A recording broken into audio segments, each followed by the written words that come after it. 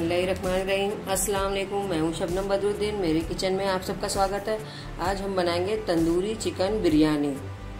चलिए, उसको कैसे बनाएँगे, क्या है, सब देख लेते हैं। ये आधा किलो गोश्त है, मैंने इसमें पूरा तंदूरी मसाला मिला के इसको रख दिया था एक दिन के लिए। आप लगे तो दो घंटे के लिए, तीन घंटे के लिए रख सकते हैं, लेकिन जितनी देर तक ये मसाला मिला हुआ रहेगा, उतनी अच्छी आपकी तंदूरी बिरयानी बनेगी। तो मैं इसकी रेसिपी आपको कल दे दूँगी कि क्या है, इसमें कैसे क्या क्या सब सामान डाले हैं तंदूरी की। आज मैं पहले बना रही हूँ, मुझे देर हो रही थी, इसलिए मैं जल्दी जल्दी चालू कर रही हूँ बनाना। तेल देखिए, ये चम्मच से दो चम्मच मैंने तेल ले लिया है। अब ये इतना बटर ले लिया है, ये बटर डाल देंगे। बटर डालेंगे दोस्तों टेस्ट तंदूरी में बहुत अच्छा आता है बटर ज़रूर डालिएगा। देखिए भी हमारा बटर तेल गर्म हो जाएगा, जब वही बटर डालना, नहीं तो इसमें फेस फेस आ जाएगा। देखिए, हमारा तेल गर्म हो चुका है, अब इसमें हम बटर डाल देंगे। और बटर हमारा पिघल चुका है, अब हम ये चिकन इसमें डालेंगे।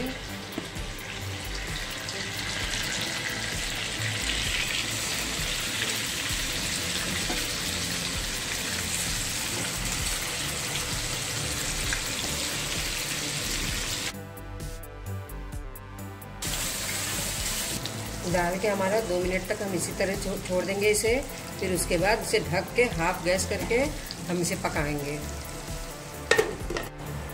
चार, मैंने मीडियम प्याज ले ली थी, और इसे लाल करके, देखिए इसका बिरिस्ता बना दिए।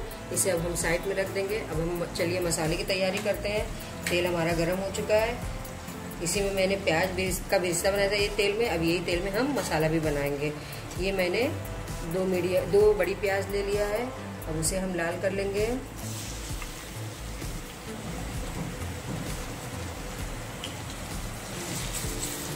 देखिए, हमारे प्याज लाल हो चुकी है।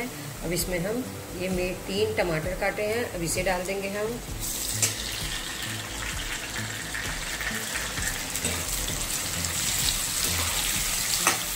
इसे भी हम चला चला के अच्छी तरह भूनेंगे, जब तक हमारा टमाटर गलेगा नहीं। इसमें अभी हम थोड़ा सा नमक डाल देंगे। आधा चम्मच तक नमक डाल देंगे, क्योंकि हमारे तंदूरी में भी नमक है, चावल में भी रहेगा। इसके लिए मसाले में थोड़ा कम नमक डालेंगे। और इसे चला चला के अच्छी तरह भूनेंगे। अब हम अपनी तंदूरी देख लेते हैं, क्या हाल है तंदूरी का। चलिए आएँगे। माशाल्लाह, देखिए, एकदम अच्छी हमारी तंदूरी पक चुकी है। अब इसे हम पलटी कर लेंगे। देखिए, एकदम अच्छी लाल लाल हो गई है।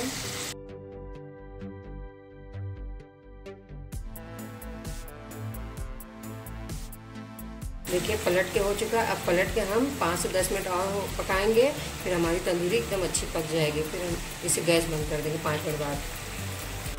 देखिए, हमारा टमाटर अच्छा सॉफ्ट हो गया है, गल भी गया है।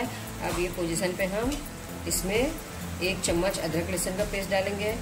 एक ही चम्मच डालेंगे क्योंकि हमारा तंदूरी में भी है, और एक चम्मच हरी मिर्ची डालेंगे।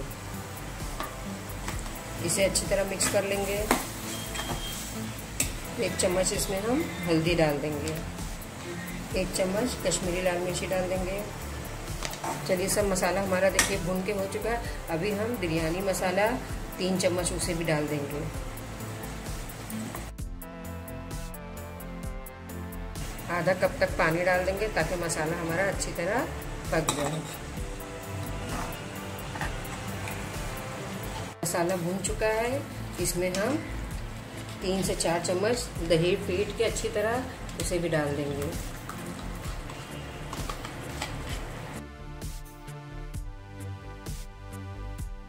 उसे भी अच्छी तरह मिला के फिर हम छोड़ देंगे मसाले को पकने के लिए अच्छी तरह। तरह, अब इसे छोड़ देंगे भुनने के लिए। अब देखिए, हमारा कोयला एक तरफ़ रखे है, उसे भी धुआँ देने के लिए। पकाने की तैयारी कर लेते हैं। एक लीटर मैंने पानी डाल दिया है इसमें। हम सारे खड़े मसाले डाल देंगे। जितने खड़े मसाले रहते हैं, सारे डाल देंगे। स्या जीरा जीरा, दालचीनी, फूल, जायत्री, सब कुछ डालेंगे। हम दो चम्मच नमक डाल देंगे। थोड़ा सा इसमें तेल डाल देंगे हम। हमारा खोल चुका है, इसे हम चावल डाल देंगे।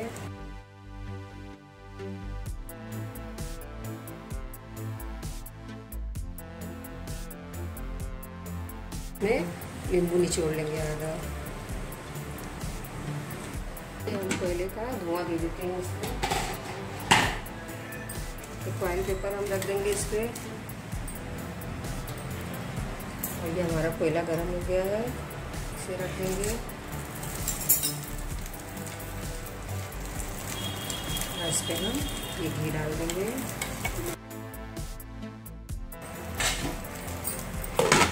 इसे ढक देंगे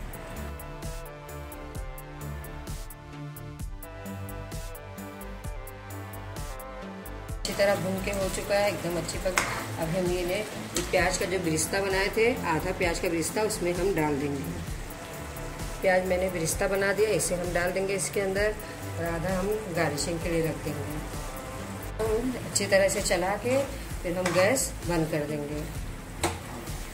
चावल अच्छी तरह पक गया, अब इसका हम पानी निकाल देंगे।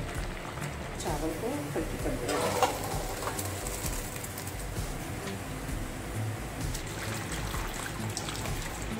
हम इसमें तेल डाल देंगे, तेल या घी डाल देंगे नीचे और थोड़ा सा चावल का पानी हमने थोड़ा सा इसमें मिला दिया, दो चम्मच मिला के अब हम आधा चावल, आधा मसाला इसमें रख देंगे।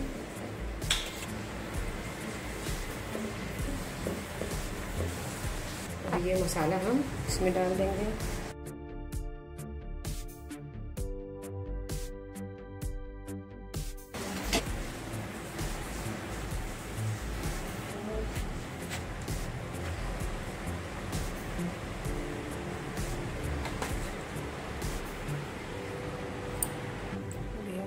कलर लगा देंगे इसमें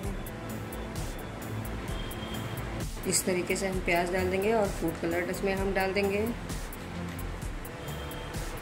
अब इस पे हम ऐसे तंदूरी रख देंगे। एकदम अच्छी तरह इसे दोनों तंदूरी ऐसे इस तरह से रख देंगे। और जो तंदूरी का मसाला हमारा रहेगा, उसे भी हम इसमें से डाल देंगे। जो हमारी पेन में लगा रहेगा।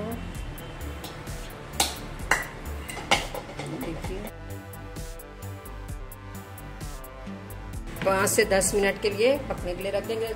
ऐसे एकदम हाफ़ करके रखेंगे। दोस्तों, आप सबको रमज़ान का दूसरा जुमा बहुत बहुत मुबारक हो। और आज मेरी तबीयत बिल्कुल अच्छी नहीं है, फिर भी मैं रेसिपी दे रही हूँ। दोस्तों, मेरी रेसिपी पूरी देखना आप लोग। और मेरे चैनल पे अगर पहली बार आए हो तो लाइक शेयर सब्सक्राइब ज़रूर करना। अगली वीडियो में मिलूँगी। अल्लाह हाफिज़।